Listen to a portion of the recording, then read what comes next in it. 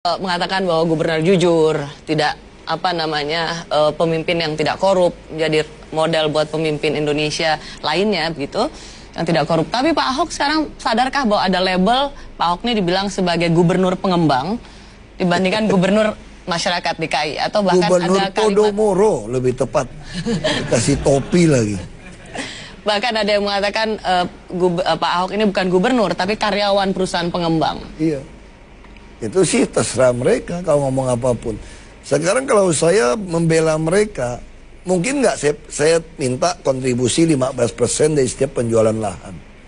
Terus sekarang setiap sertifikat layak fungsi dari gedung-gedung itu, mereka harus menyumbangkan trotoar dan ducting sistem apa itu istilahnya ducting ya untuk kabel-kabel bawah itu sekeliling luasnya mereka. Terus kamu naikin koefisien luas bangunan mesti bayar kita sesuai NJOP. Nah sekarang kalau saya gubernur pengembang, saya tekan dong tidak mau. Terus bilang saya bela pengusaha, hanya bongkar yang miskin yang kaya enggak. Sekarang kalian sadar nggak kampung pulau tidak banjir? Saya masukin alat berat itu 13 ruko dari zaman Belanda mereka udah punya ruko, saya roboin. Saya paksa bayar dia. Dia mau gugat saya waktu itu.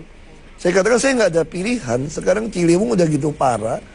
Dia bilang saya lahir di Jatinegara. Kakek saya udah buka toko dari zaman Belanda. Bagaimana Anda bisa robohkan ganti rugi kami saja? Kan kami kan ada langganan, ada goodwill. Saya bilang nggak ada pilihan. Kamu mau gugat, gugat saya saja. Kamu mesti ingat kalau kamu gugat saya, orang miskin nggak bisa lawan orang kaya, orang kaya nggak bisa nantang pejabat. Saya nggak ada pilihan, saya korbanin ruko kalian. Nggak pernah ada catat tuh, 13 ruko yang dari zaman Belanda saya robohin untuk masukin mulai kerja kampung pulau. Ya orang kampung pulau dirobohin bilang saya menindas orang miskin. 13 ruko saya sikat, nggak ada yang ngomong. Kalau dibilang ras, turunan Cina lagi ramai semua situ. Jadi memang orang-orang itu kan cuma orang buta saja ngomong. Karena nggak bisa jual program, cuma maunya nyerang Ahok melulu kan. Ajak berantem, mau suruh Christian aja pukul dia sekali-sekali. Kalau nggak petinju kan. Mau naik ring kan ya kan. Naik Nah. ring juga nggak berani. Nah, Pak Pak Ahok tuh kan eh, tapi sadar ya bahwa ada label bahwa Pak Ahok dibilang lebih lebih cenderung eh, itu kan melayani orang. Sekarang kita lihat aja orang-orang susah. Berapa yang nikmatin untuk sekolah. Kita tahun ini bisa capai 740 ribu lebih orang untuk kita biaya dengan KJP. Nanti kalau dia bisa masuk perguruan tinggi negeri kita kasih 18 juta. Kita lagi bikin program orang anak sekolah yang nggak mampu ini bisa beli daging sapi 39 ribu per kilo per bulan. Beli ayam 10 ribu untuk perbaiki nutrisi dia. Kita kasih dia bus gratis sekolah. Naik bus semua nggak bayar. Kita kasih satu dokter, satu perawat, satu bidan, tungguin. Perumahan lebih baik 36 meter persegi. Ini logikanya nggak bela orang miskin bagaimana? Orang naik bus orang Tangerang Bekasi aku belain kok.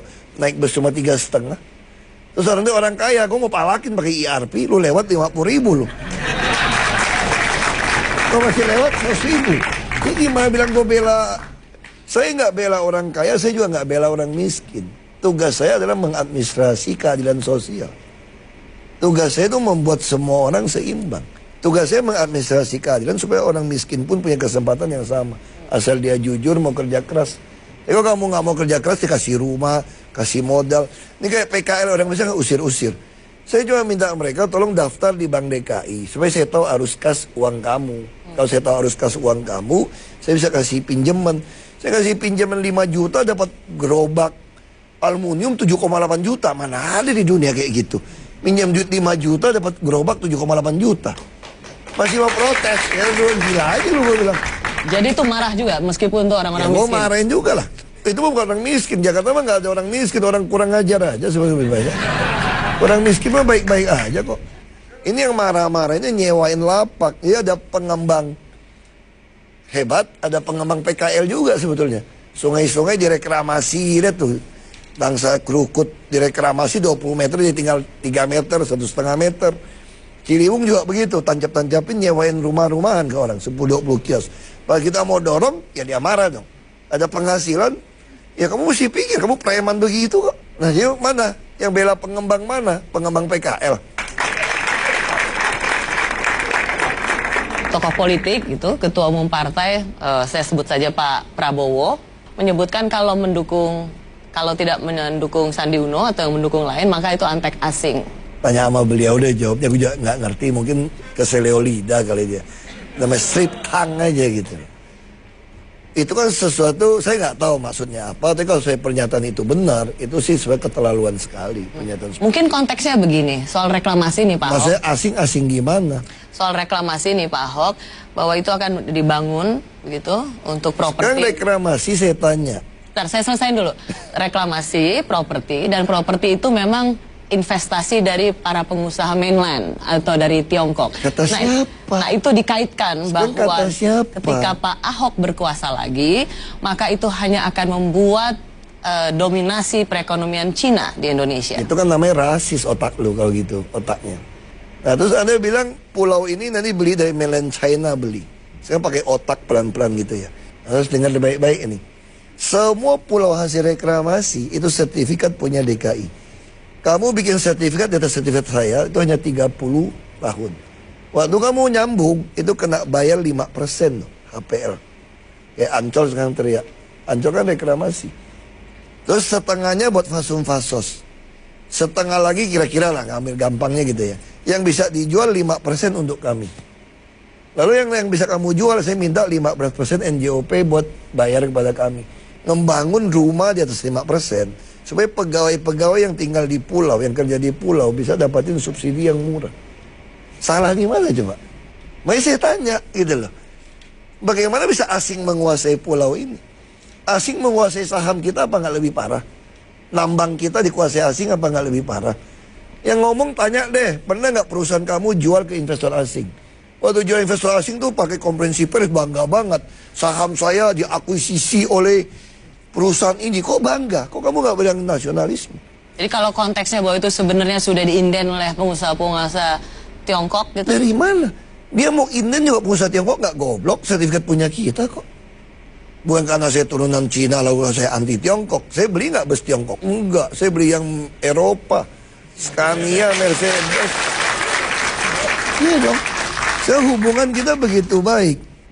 Jadi jangan nasionalisme sempit jadi chauvinis karena politik. Udahlah, saya kira dia cuma salah ngomong saja lah. Jadi Pak Ahok ini nasionalis sejati gitu, mau bilang Kalau bahwa... nasionalis sejati bukan chauvinis ya. Nasionalis sejati adalah orang yang bisa memanfaatkan hubungan internasional untuk kepentingan rakyat kita. Kita bukan anti asing. Pak Ahok kan uh, Pak Ahok sering memang uh, apa me melawan uh, apa namanya pemikiran dan Saya nggak pernah ngelawan orang kok cuma orang aja beda, beda arah sama saya. orang pintu bener ke sana kok saya ke sana kamu ke sini ya tabrakan kita. Pak Pak Ahok ini kan berani gitu ya, udah minor, minoritas. Gak berani juga. Ada siapa gue berani? Lu suruh lu nyanyi gue nyanyi, palas-palas deh. Kalau gue berani gue tolak deh tadi. Kalau di sini ya gue takut. Maksudnya, uh, Pak Ahok gini, kan ada tulisan dari mantan Kasum bahwa dengan sikap Pak Ahok yang meledak-ledak, uh, marah, keras gitu, itu memancing sentimen rasisme. Uh, karena dianggap bahwa ini berbahaya gitu. Dan banyak kemudian yang termakan bahwa sikap itu tidak patut dimiliki oleh seorang pemimpin yang kebetulan memang dia minoritas. Justru saya mengatakan yang ngomong itu nggak ngerti tentang kebangsaan, nasionalisme. Kalau Ahok mau ngomong apa ya Ahok nggak ada hubungan dengan turunan darah saya. Ya kamu juga nggak tahu saya punya turunan darah Thailand dari nenek saya. Saya ada turunan darah Melayu dari nenek saya. Nggak bisa dong jadi patokan. Kalau Ahok nggak baik ya Ahok yang masalah. Kenapa mesti nyangkut turunan, nyangkut agama saya gitu. Justru yang ngomong itu yang nggak ngerti, itu yang namanya provokator, provokasi. Dan ada insiden uh, seorang pemuda yang kemudian dipukulin bilang itu Ahok, Ahok. itu namanya mau menteror Ahok bukan mau pukul dia. Sama Ahok nggak berani kok udah ngancam saya berapa kali. Ya kan, lu kira gampang. Itu pengecut aja, cuma pengen teror aja. Kita lagi cari nih. Ya si pengecut kita temuin, lagi suruh polisi cari. Kalau temu kita gebuk balik, pidana aja. Cari gitu loh. Belagu amat lu kira negara ini bisa semau lu gitu loh. Itu gaya-gaya teror yang orang ngomong kayak tadi tuh gayanya itu. Mau teror orang supaya orang takut gitu loh. Lu kira kita takut. Makin kaya juga makin takut mati gua tadi. sertifikat data sertifikat saya itu hanya 30 tahun. Waktu kamu nyambung itu kena bayar 5% loh, HPL. Kayak Ancol sekarang teriak. Ancol kan reklamasi. Terus setengahnya buat fasum fasos. Setengah lagi kira-kira lah ngambil gampangnya gitu ya. Yang bisa dijual 5% untuk kami. Lalu yang yang bisa kamu jual saya minta 15% NJOP buat bayar kepada kami. Membangun rumah di atas 5% supaya pegawai-pegawai yang tinggal di pulau, yang kerja di pulau bisa dapatin subsidi yang murah. Salah di mana coba? Makanya saya tanya gitu loh. Bagaimana bisa asing menguasai pulau ini? Asing menguasai saham kita apa nggak lebih parah? Nambang kita dikuasai asing apa nggak lebih parah? Yang ngomong tanya deh, pernah nggak perusahaan kamu jual ke investor asing? Waktu jual investor asing tuh pakai konferensi pers bangga banget. Saham saya diakuisisi oleh perusahaan ini. Kok bangga? Kok kamu nggak bilang nasionalisme? Jadi kalau konteksnya bahwa itu sebenarnya sudah diinden oleh pengusaha-pengusaha Tiongkok gitu. Dari mana? Dia mau inden juga pengusaha Tiongkok nggak goblok. Sertifikat punya kita kok. Bukan karena saya turunan Cina lalu saya anti Tiongkok. Saya beli nggak bus Tiongkok? Enggak. Saya beli yang Eropa. Scania, Mercedes. Iya dong. Sehubungan kita begitu baik. Jadi jangan nasionalisme sempit jadi chauvinis karena politik. Udahlah, saya kira dia cuma salah ngomong saja lah. Jadi Pak Ahok ini nasionalis sejati gitu. Mau bilang Oh, bahwa nasionalis sejati. Dia bilang saya lahir di Jatinegara. Kakek saya udah buka toko dari zaman Belanda. Bagaimana Anda bisa robohkan ganti rugi kami saja? Kan kami kan ada langganan, ada goodwill. Saya bilang nggak ada pilihan. Kamu mau gugat, gugat saya saja. Kamu mesti ingat kalau kamu gugat saya, orang miskin nggak bisa lawan orang kaya, orang kaya nggak bisa nantang pejabat. Saya nggak ada pilihan, saya korbanin ruko kalian. Nggak pernah ada catat tuh, 13 ruko yang dari zaman Belanda saya robohin untuk masukin mulai kerja kampung pulau. Ya orang kampung pulau dirobohin bilang saya menindas orang miskin. 13 ruko saya sikat, nggak ada yang ngomong. Kalau dibilang ras, turunan Cina lagi ramai semua situ. Jadi memang orang-orang itu kan cuma orang buta saja ngomong. Karena nggak bisa jual program, cuma maunya nyerang Ahok melulu kan. Hanya berantem, mau suruh Christiannya pukul dia sekali-sekali. Kalau nggak petinju kan. Mau naik ring kan ya kan. Naik Nah. ring juga nggak berani. Nah, Pak Pak Ahok tuh kan eh, tapi sadar ya bahwa ada label bahwa Pak Ahok dibilang lebih lebih cenderung itu kan melayani orang. Sekarang kita lihat aja orang-orang susah. Berapa yang nikmatin untuk sekolah? Kita tahun ini bisa capai 740 ribu lebih orang untuk kita biaya dengan KJP. Nanti kalau dia bisa masuk perguruan tinggi negeri kita kasih 18 juta. Kita lagi bikin program orang anak sekolah yang nggak mampu ini bisa beli daging sapi 39 ribu per kilo per bulan. Beli ayam 10 ribu. Untuk perbaikin kerukut di reklamasi 20 meter jadi tinggal 3 meter, satu setengah meter. Ciliwung juga begitu, tancap-tancapin nyewain rumah-rumahan ke orang, 10-20 kios. Kalau kita mau dorong, ya dia marah dong. Ada penghasilan, ya kamu mesti pikir, kamu preman begitu kok. Nah, yuk mana? Yang bela pengembang mana? Pengembang PKL. tokoh politik gitu, ketua umum partai, eh, saya sebut saja Pak Prabowo, menyebutkan kalau mendukung kalau tidak mendukung Sandi Uno atau yang mendukung lain maka itu antek asing. Tanya sama beliau deh jawabnya, juga nggak ngerti, mungkin keseleo lidah kali dia.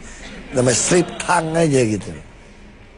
Itu kan sesuatu, saya nggak tahu maksudnya apa, tapi kalau saya pernyataan itu benar, itu sih sebenarnya keterlaluan sekali pernyataan seperti Mungkin konteksnya begini, soal reklamasi nih Pak Ahok. Maksudnya asing-asing gimana? Soal reklamasi nih Pak Ahok, bahwa itu akan dibangun gitu untuk properti. reklamasi saya tanya, Bentar, saya selesaiin dulu. Reklamasi, properti, dan properti itu memang investasi dari para pengusaha mainland atau dari Tiongkok. Kata nah, siapa? Nah itu dikaitkan Sekarang bahwa ketika Pak Ahok berkuasa lagi, maka itu hanya akan membuat eh, dominasi perekonomian Cina di Indonesia. itu kan namanya rasis otak lu kalau gitu, otaknya. Nah terus anda bilang pulau ini nanti beli dari mainland China beli.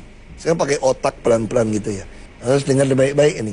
Semua pulau hasil reklamasi itu sertifikat punya DKI. Kamu bikin nutrisi dia. Kita kasih dia bus gratis sekolah. Naik bus semua nggak bayar. Kita kasih satu dokter, satu perawat, satu bidan. Tungguin. Perumahan lebih baik 36 meter persegi. Ini logikanya nggak bela orang miskin bagaimana? Orang naik bus orang Tangerang Bekasi aku belain kok. Naik bus cuma tiga setengah.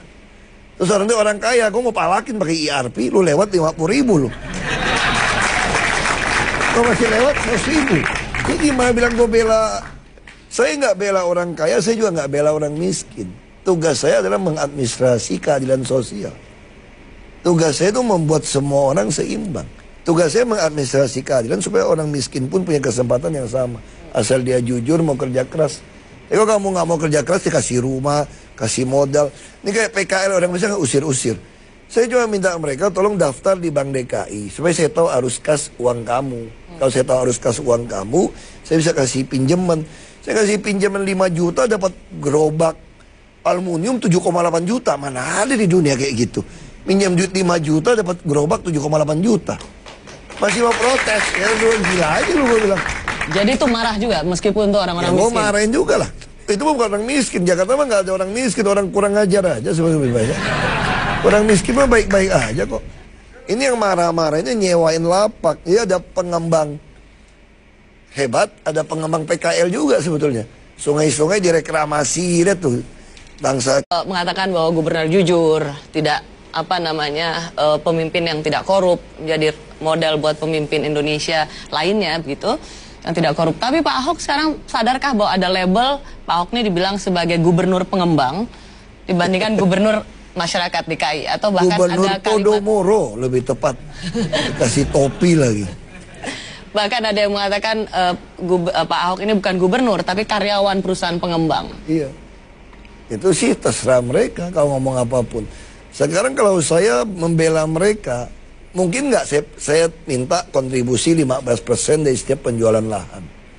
Terus sekarang setiap sertifikat layak fungsi dari gedung-gedung itu, mereka harus menyumbangkan trotoar dan ducting sistem apa itu istilahnya ducting ya untuk kabel-kabel bawah itu sekeliling luasnya mereka. Terus kamu naikin koefisien luas bangunan mesti bayar kita sesuai NJOP. Nah sekarang kalau saya gubernur pengembang, saya tekan dong tidak mau. Terus bilang saya bela pengusaha, hanya bongkar yang miskin yang kaya enggak. Sekarang kalian sadar nggak kampung pulau tidak banjir? Saya masukin alat berat itu 13 ruko dari zaman Belanda mereka udah punya ruko, saya roboin. Saya paksa bayar dia. Dia mau gugat saya waktu itu. Saya katakan saya nggak ada pilihan. Sekarang Ciliwung udah gitu parah.